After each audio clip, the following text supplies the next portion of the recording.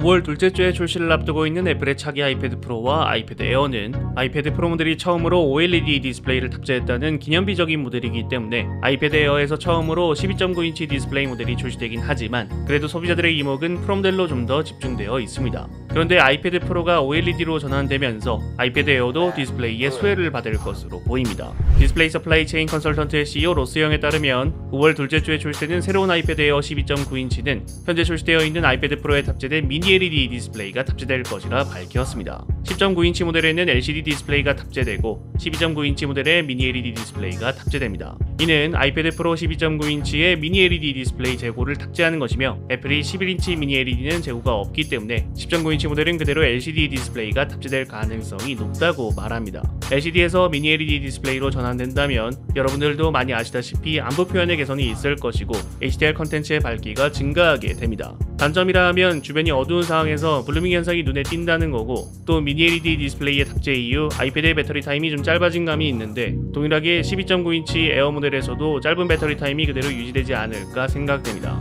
프로 모델과 같은 패널을 탑재하게 된다면 우리가 기대하는 것은 120Hz 프로모션 디스플레이의 지원입니다. 애플이 IA급 차이를 두기 위해 드라이버에서 지원 을 하지 않는다면 우리의 기대와는 멀어지게 되겠지만 그래도 같은 패널이라면 희망을 가져볼만 하지 않을까. 아이폰의 120Hz 같은 경우는 단순히 심미적인 효과이기 때문에 그렇다 쳐도 아이패드의 120Hz는 애플 펜슬의 latency를 크게 줄여주기 때문에 과거의 아이폰보다 아이패드에 먼저 120Hz를 지원했던 것처럼 아이폰 일반 라인업보다 먼저 에어라인은 이제 지원을 해야 하지 않을까 싶은데 애플의 업그레이드는 항상 일반적인 생각과 달랐기 때문에 그냥 미니 LED로만 업그레이드를 하는 건지 지켜봐야겠습니다. 여러분들이 생각하시는 아이패드 에어에 대해서 댓글 남겨주시면 감사드리겠습니다. 시청해주셔서 감사합니다. 지금까지 알비였습니다.